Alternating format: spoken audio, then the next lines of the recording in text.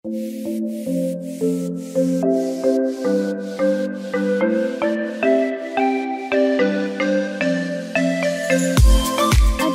Arsip dan Perpustakaan Kota Cilegon, Dr. Ismatullah meresmikan launching Taman Bacaan Masyarakat atau TBM dan dolanan anak tradisional Happy Pinky yang berlokasi di lingkungan Wates Telu, RT 13 RW 5, Kelurahan Purwakarta, Kecamatan Purwakarta, Kota Cilegon.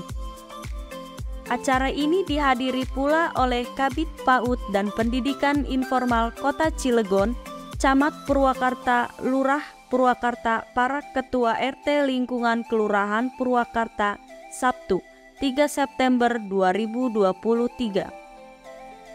TBM ini didirikan atau dibentuk di lingkungan halaman rumah Ketua RT Rosalia Handayani atau yang biasa dipanggil RT Inces.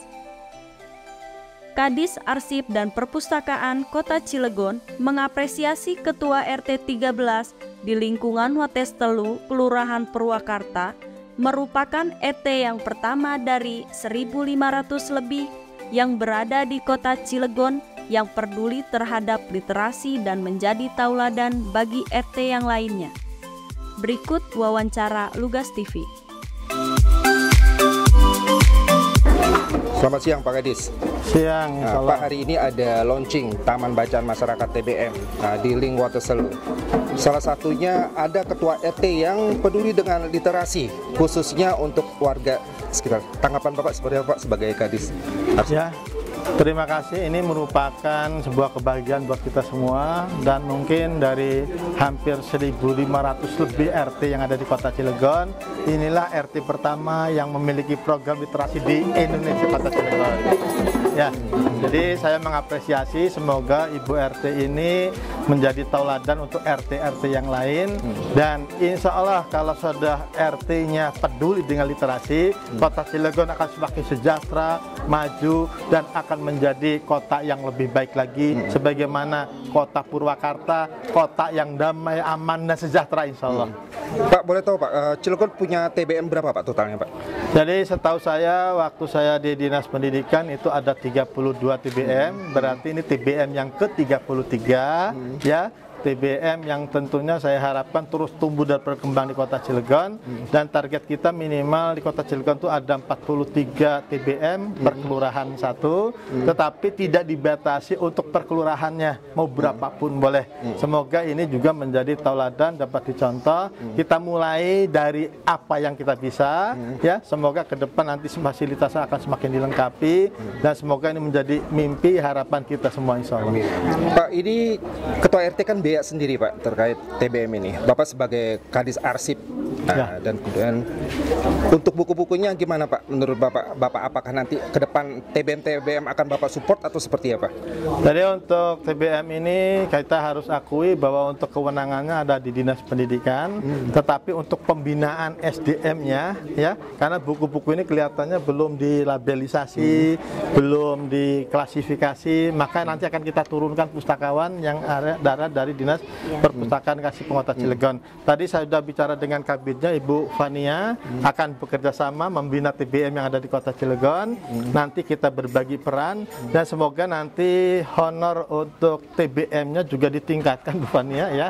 Setahu saya dulu dapat 300 ribu rupiah. Kalau baru nanti Bu Sabar akan diusulkan dulu ya. Jadi pengurus TBM itu ada honor dari Dinas Pendidikan Kota Cilegon. Selanjutnya nanti akan diajukan secara pelan karena nanti SK dan seterusnya akan ditempuh dulu. Tapi mulai dulu dengan keikhlasan. Insya Allah ikhlas akan lebih membahagiakan kita semua. Terakhir Pak, pesan ke depan terkait TBM ini Pak.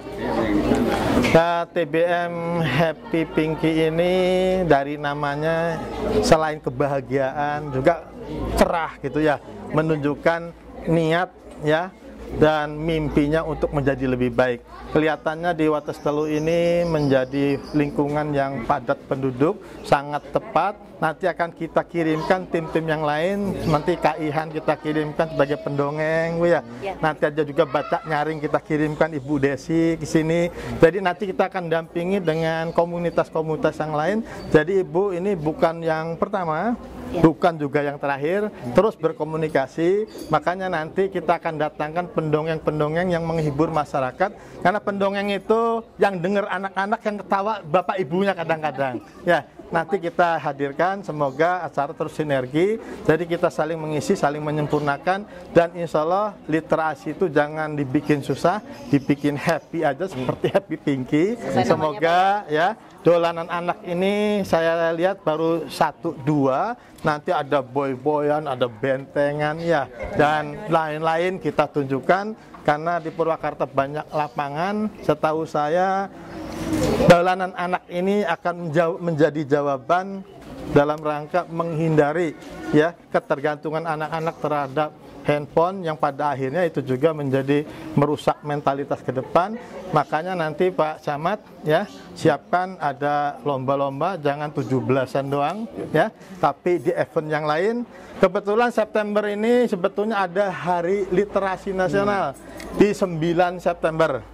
Tapi pesta literasinya nanti kita laksanakan di CCM tanggal 24 September akan kerjasama dengan Dinas Pendidikan karena yang bertanggung jawab terhadap literasi itu dua EPD untuk di Kota Cilegon Dinas Pendidikan dan Dinas Pendidikan maka Bapak Ibu boleh hadir nanti di acara itu ya sambil melihat berbagai rangkaian acara yang ada insya Allah. Ya. Siang Bu, bisa penangan diri Ibu dari Dinas Pendidikan Kota Cilegon dengan Ibu siapa? dengan Ibu Fania saya kabit di apa eh, pengelolaan PAUD dan pendidikan non formal kebetulan TBM ini masuk di bawah binaan kami di bidang P2PN Oh, di bawah bidang Ibu. Bu, ini kan TBM ini kan eh, dikelola dengan biaya sendiri ya. Saya tahu dengan dana yang minim. Ke depan dari Dinas Pendidikan ini seperti apa Bu untuk mengenai Eh, tentunya kami mengapresiasi ya Pak karena ini bagian dari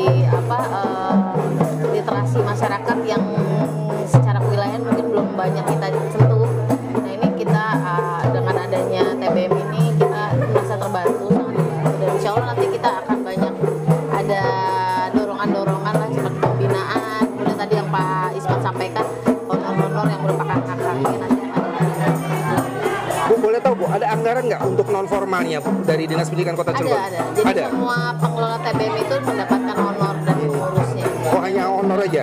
honor ya Honor, bukan anggaran untuk buli bukan ada. nggak ada. Oke. Pesan terakhir Bu. Pesan terakhirnya mudah-mudahan kehadiran TBM eh, di Happy Pinky ini bisa meningkatkan indeks literasi khususnya di Kecamatan Purwakarta dan mengimbaskan apalagi ini udah ada program-program lainnya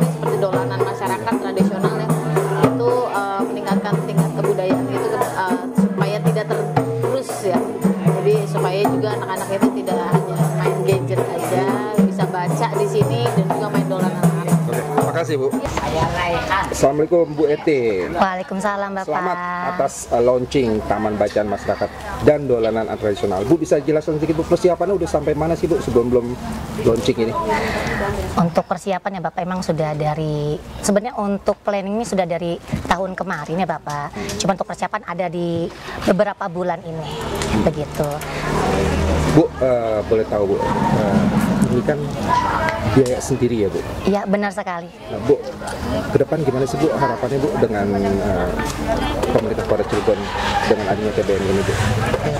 Jadi harapan saya ke depannya semoga adanya TBM Taman Bacaan Masyarakat dan Dolanan Anak Tradisional ini di lingkungan Wates Lu khususnya di RT 13 utamanya untuk warga saya ya Bapak ya harapan saya itu untuk meningkatkan atau menumbuhkan rasa cinta untuk gemar membaca utamanya seperti itu.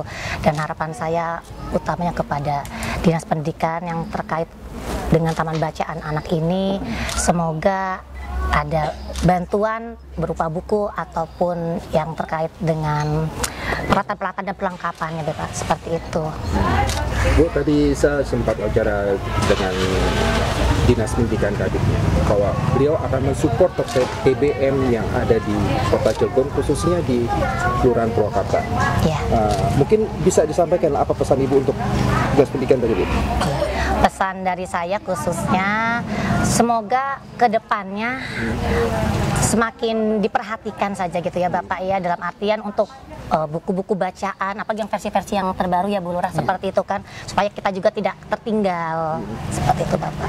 Bu, uh, boleh tahu sih Bu, uh, ini kan ibu dia sendiri. Iya benar sekali. Launching ini kan butuh dana besar ini Bu. Iya. Boleh dikit bocoran Bu, biaya-biaya tersebut Bu. Dari mana Ibu dapat? Apakah memang honor Ibu RT Ibu sumbangkan atau ada donatur atau seperti apa? Iya, baik di sini sedikit saya jelaskan ya Bapak ya. Kalau untuk gaji RT, terus terang ya Bapak ya, jujur saya walaupun digaji dari RT, tapi uang tersebut saya alokasikan untuk uang kas warga, untuk perbaikan lampu jalan dan juga untuk berbagi setiap bulannya berupa beras hmm. seperti itu ataupun minyak goreng. Jadi memang pure murni selama saya menjadi RT saya tidak pernah sedikit pun memakai uang gaji RT saya sampai detik ini. Hmm. Dan adapun untuk kegiatan TBM ini memang saya sudah menabung untuk kegiatan ini ya Pak ya. Yang jelas selain dari saya itu pun dari suami saya. Iya, seperti itu. Bu, ini udah launching. Ya. Apakah bukanya tiap hari dan siapa yang menjaganya ini Bu? Iya. Jadi nanti ke depannya Bapak ya untuk yang menjaga itu kan kebetulan sedang hmm. apa tempat taman bacaan ini memang beradanya di belakang rumah saya Bapak ya. Hmm. Jadi untuk buka ya memang setiap hari gitu hmm. Bapak. Dari waktunya bisa pagi, siang, sore ataupun malam. Hmm. Cuman yang pasti kalau dilewat dari jam 9 ya mungkin sudah tidak kita pun sama ada jam istirahat juga seperti itu ya Bapak. Kira-kira presentasinya berapa banyak Bu warga Ibu RT Ringwates RT 13 ini Bu untuk minat bacanya khususnya pada anak-anak? Iya, untuk anak-anak seni itu hampir 80% Bapak. 80%, 80% alhamdulillah. Hmm. Karena di situ kan ada dolanan anak juga ya Papa ya. Jadi memvoti apa memotivasi untuk anak-anak juga mau untuk membaca. Selain itu juga kan ada permainan-permainan tradisional juga kita mengenalkan permainan tersebut ya Bapak. Bukan cuma di zaman kita kecil aja ya Bu ya. gitu kan. Tapi sekarang pun mengenalkan untuk anak-anak juga supaya tidak terpaku pada permainan gadget seperti itu. Bu tadi dibuka oleh Kadis Arsip dan Perpustakaan uh, beliau pesan apa terhadap Ibu sebagai uh, pemilik TBM Bu? Aduh luar biasa sekali responsif dari Bapak Kadis. Yang pertama memang turut berbahagia pastinya karena di lingkungan Wateslu khususnya ada taman bacaan anak ya Bapak ya yang mana beliau pun ingin mensupport apalagi akan menambah-nambahkan buku-buku bacaan nanti ke depannya hmm. seperti itu. Terakhir untuk warga Ibu adanya TBM dan dolanan tradisional Happy Pinky yang dibuka di rumah Ibu. Iya. Uh, harapan saya teruntuk warga saya tercinta khususnya warga lingkungan Wates Telu RT 13 semoga dengan adanya taman bacaan masyarakat ini semoga ke depannya kita semua gemar untuk membaca dan juga meningkatkan ilmu pengetahuan khususnya seperti itu Bapak. Terima kasih. Ya, siang Bulura. Siang. Bulura. Ini ada warga Ibu RT Ling Wates Telu RT 13 RW 5 dia memang berjiwa sosial peduli dengan uh, warganya kebetulan dia peduli dengan literasi. Dia membuat TBM itu sebagai kepala kelurahan Purwakarta seperti apa Bu melihatnya? Ya baik Pak. Sebelumnya menyapa warga Wates Telu dulu ya. Ya. Uh, selamat siang juga buat uh, Bu RT selaku Ketua TBM Happy Pinky juga seluruh warga Wates Telu semoga dengan hadirnya TBM ini uh, bisa menambah wawasan buat semua warga yang berada di lingkungan Wates Telu. Bu uh, tadi Bu RT bicara bahwa ini uh, konsepnya dia sendiri dan ya. memang ini uh, dibuat di lingkungan ya. rumah Bu RT sendiri. Ke depannya ada nggak pihak kelurahan membuat TBM yang memang khusus dibentuk dari mungkin dari anggaran APBD atau seperti apa Bu? Uh, kalau TBM ini memang uh, munculnya dari warga gitu. Jadi uh, warga uh, ke kelurahan ingin membuat TBM. Nah, TBM ini adalah salah satu program dari uh, pusat kegiatan belajar PKBM. Karena PKBM yang terdekat ini adalah di WBK, maka eh, kita berada di binaan WBK. Jadi KTBM itu memang datangnya dari dari warga gitu. Kalau untuk dari eh, pemerintahan kita ada perpustakaan kelurahan. Nah, biaya ini karena memang dari warga, maka biaya ini full 100% dari eh, Ibu Inces.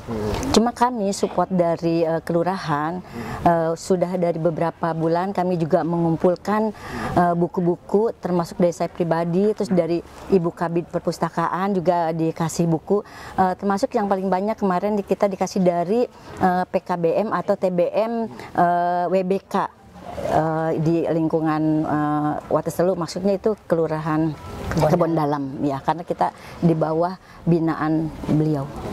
Bu tadi perwakilan dari Dinas Pendidikan Kota Cilegon eh, memberitahu bahwa TBM merupakan salah satu bentuk pendidikan yang non formal. Ya. dan memang belum ada anggarannya, tetapi ada honor sedikit.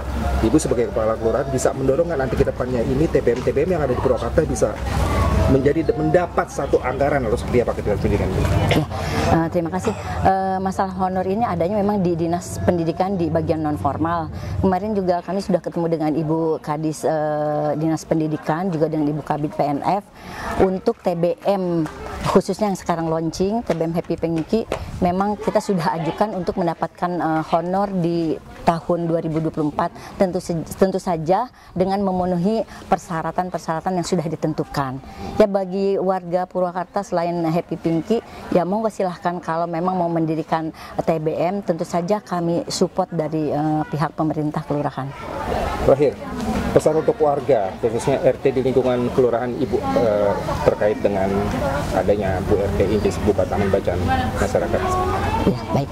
Eh, saya secara pribadi maupun secara kelembagaan mengucapkan terima kasih kepada Ibu RT, Ibu RT Inces karena eh, beliau eh, pelopor untuk membuka eh, taman bacaan di lingkungan ini dan memang sudah eh, apa eh, kenyataannya memang sudah ada TBM ini sebelum di launching juga kita memang sudah eh, sering eh, mengumpulkan anak-anak untuk eh, membaca buku juga ada kegiatan dolanan anak. Jadi kami berharap ke seluruh warga Wates Telu ya agar senantiasa rajin membaca karena membaca adalah eh, jendelanya dunia dengan membaca kita bisa lebih pintar dan eh, kita menjadi eh, contoh di lingkungan Wates Tulu ini menjadi contoh buat lingkungan-lingkungan lain dan kami berharap ada inces-inces di luar sana yang bisa menjadi inces seperti yang ada di lingkungan Wates Tulu.